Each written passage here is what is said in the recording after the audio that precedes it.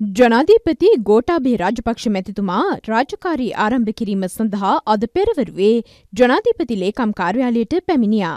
එම කාර්යාලයට පැමිණි ගෝටාබේ රාජපක්ෂ මැතිතුමා පිළිගනු ලැබුවේ හිටපු ජනාධීපති මෛත්‍රපාල සිරිසේන මහතායි. ආරක්ෂක මාණ්ඩලික ප්‍රධානී සහ ත්‍රිවිධ හමුදාපතිවරුන්ගේ ප්‍රධානත්වයෙන් උත්තමාචාර වෙඩිමුර පිරිනැමීම එහිදී සිදු කෙරුණා. අනතුරුව මහා සංඝරත්නයේ සෙත් පිරිත් සජ්ජායනා මධ්‍යයේ පෙරවරුවේ යෙදුණු සුබ මොහොතින් ජනාධීපති ගෝඨාභය රාජපක්ෂ මැතිතුමා සිදුරයේ රාජකාරිය ආරම්භ කළා.